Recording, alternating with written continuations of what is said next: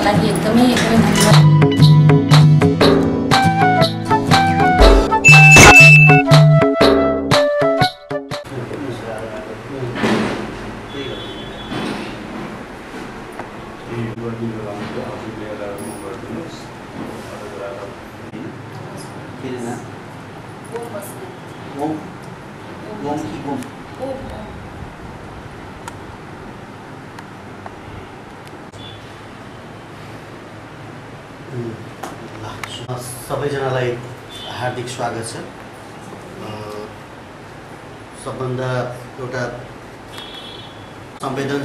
भएर उहाँकै सहकर्मीहरूबाट एउटा पुण्य काम भएको छ। खास गरेर डम्बर बस्ती बचाउ अभियान एउटा सञ्चालन गरेर हाम्रा साथीहरू जो नेविसन सोभियो अनिलजी डमरजी के अरे हामी घनश्यामजी एउटा महत्त्वपूर्ण अभियान सञ्चालन गर्नुभएको छ। यो अभियानमा ज जसले सहयोग गर्नुभयो त्यसप्रति पनि हामी कृतज्ञता ज्ञापन गर्दछौँ र जो अहिले दुःखी हुनुहुन्छ परिवार दुःखी हुनुहुन्छ भाइ।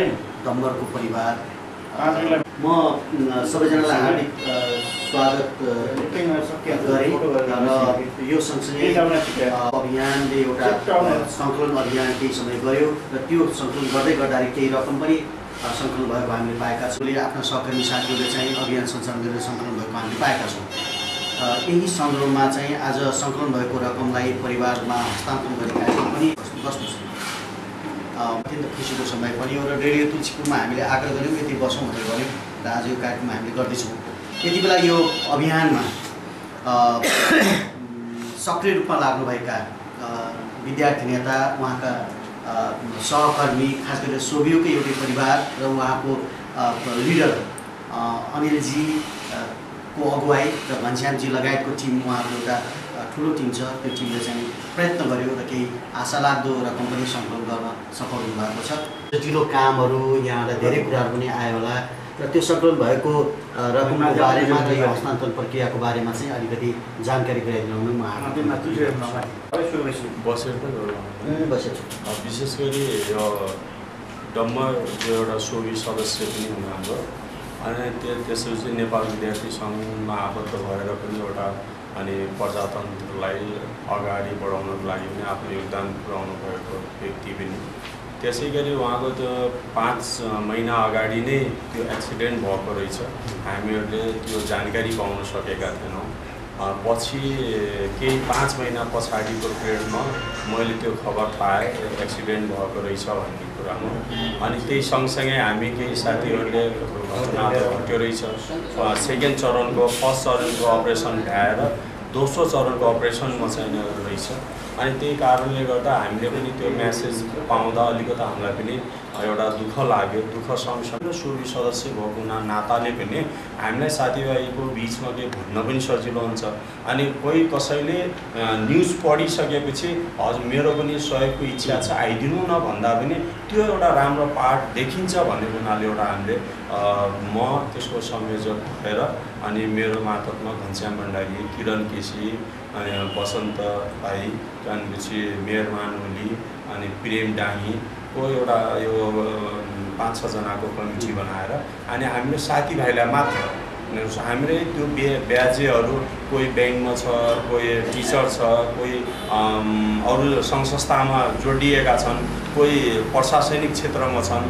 अनि यावत कुराहरू हामी यसै फिल्डमा मात्रै घुम्ने क्रममा कोही कोहीले त्यो म्यासेजलाई देखेर ओहो यसमा त हामीलाई पनि सहयोग गर्ने इच्छा लाग्यो तपाईँहरू छौँ भनेर जस जसले हामीलाई बोलाउनु भयो हामी उहाँको घरमा मात्रै बस्यौँ।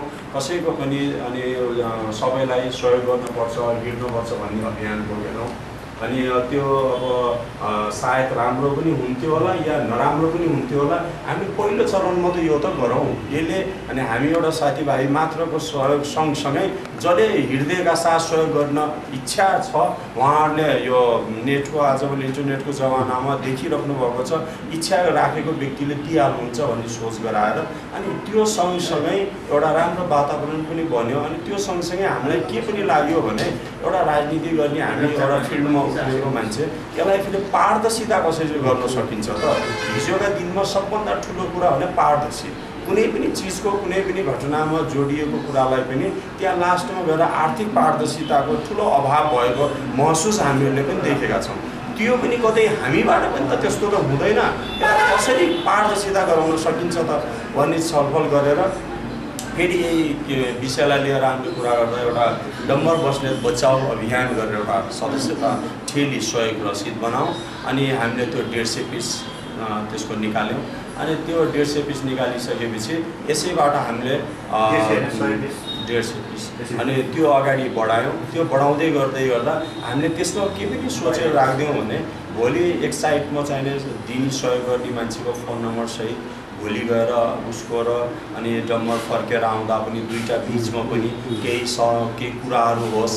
अनि दिएको मान्छे र अनि उसको केही सहयोगले फर्केर आएको व्यक्ति र दुईवटाको कुरा गर्दै गर्दा त्यो छुट्टै किसिमको आनन्द आउने छ अनि त्यो सोचका साथ पनि हामीले त्यो वातावरण सोचेर पनि हामीले फोन नम्बर राखेर सबै राखिदिने वातावरण गऱ्यौँ। अनि त्यो सँगसँगै अनि अब जति हामीले आर्थिक सहयोग गर्ने क्रममा अब हामीहरूलाई कतिले आफै सम्पर्क गरेर बोलाइदिनु भयो कतिपय हामीले खबर गरेर अब त्यसले जो जहाँ जसरी आफ्नो गच्छेअनुसार एउटा डम्मरलाई अनि सुस्वास्थ्यका साथ अनि नेपाल फर्काउने र औषधि उपचार राम्रोसँग भएर जो आउने यो वातावरणमा जो हामी हिँड्यौँ हामीहरूलाई जो सहयोग गर्नुभयो म मार्फत देशबाट देश विदेशमा रहनुभएकाले पनि सहयोग गर्नुभयो। त्यस कारणले गर्दा म डम्बर बस्ने र मेरो आफ्नो र हाम्रो टिमको तर्फबाट म जति देश विदेशबाट र स्वदेशमा रहनुभएका आफ्नो गच्छे अनुसार सहयोग गर्नुहुने सम्पूर्णलाई धन्यवाद दिँदै कृतज्ञता पनि प्रकट गर्न चाहन्छु। स्वास्थ्यको कामना गर्दै डम्बरलाई छिटोभन्दा छिटो स्वास्थ्यमा सुधार भएर नेपालमा आउने र हामी प्रत्यक्ष अनि यो विषयलाई लिएर या अरू कुरालाई लिएर एउटा कुरा गर्ने त्यो अवसर हामीलाई भगवान्ले छिटो दियोन् भन्ने त्यो एउटा प्रार्थना ईश्वरसँग पनि गर्न चाहन्छु र त्यो रसिदहरू गरायौँ। त्यो पनि म जानकारी गराउन चाहन्छु। यो विषयमा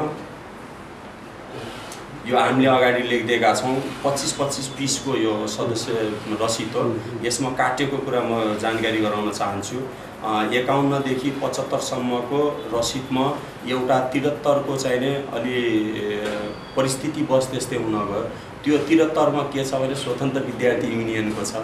यसमा केही विवाद देखिएको हुनाले यसको पैसा निकाल्न नसकेको हुनाले त्यो पैसा ननिकाल्दासम्म फेरि यो प्रक्रिया अड्डाइराख्नुभन्दा पनि भोलि त्यो केही भयो भने हामी परिवारसँग त्यो भेटघाट गरेर यो रसिद पनि त्यही बेला लिने अनि हस्तान्तरण गरिसकेपछि रसिद ल्याउनुका साथ यो रसिद त्यसैमा छ अहिले काटिएको छैन। म यो पनि परिवारलाई बुझाउन चाहन्छु। त्यसै गरी छब्बिसदेखि पचाससम्मको पुरा रसिद कटिएको छ। त्यसै गरी एकदेखि पच्चिससम्मको पनि पुरा कटिएको छ।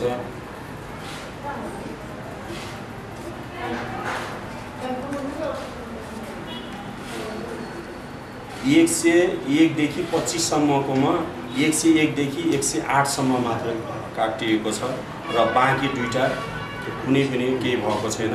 यो पनि हामीमा रहँदा पनि कहीँ कतै केही होला भन्ने त्यो सोचका साथ म यो रसिद अनि पैसा यो सबै म आज नै उहाँहरूका हात बुझाउन चाहन्छु। यदि कहीँ कतैबाट त्यस्तो अवसर मिल्यो उहाँहरूले सहयोगको भाव राखेर हामीलाई सम्पर्क गर्नुभयो भने म परिवारहरूलाई उहाँको परिवारहरूलाई सम्पर्क गर्ने वातावरणतिर म लाग्नेछु। हामीले बनाएका छौँ। यसमा सोभि सदस्य श्री डम्बर बस्नेत वैदेशिक रोजगारका लागि मलेसियामा रहनुभएको अवस्थामा अचानक गाडी दुर्घटनामा परि सतस्थ घाइते भई गम्भीर उपचारमा संलग्न हुनुहुन्छ भन्ने खबर सुन्दा हामी सम्पूर्ण विद्यार्थीहरू स्तब्ध हुन पुगेका छौँ। उहाँको सफल उपचार गरी उहाँलाई पूर्वोक्त अवस्थामा फर्काउनका लागि यथाशक्य आर्थिक सहयोग गर्नुहुने चाहिँ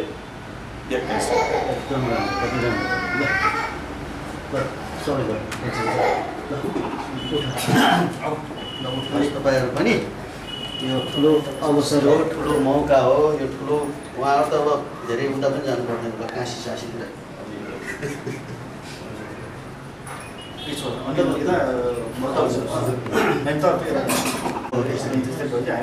तिमीहरूले अनिललाई चाहिँ हात गराइदिउँ बास